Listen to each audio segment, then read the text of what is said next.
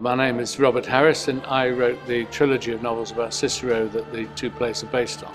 I think the cleverness of the adaptation is that it both reflects pretty accurately the books themselves and yet takes them into a different dimension. They come alive in a, in a, in a different way and it's a real Rolls-Royce production.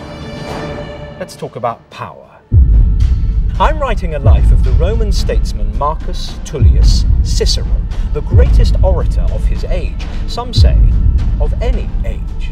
He faced powerful opposition from Catiline, brutal, ambitious, and from a young chancellor called Gaius Julius Caesar.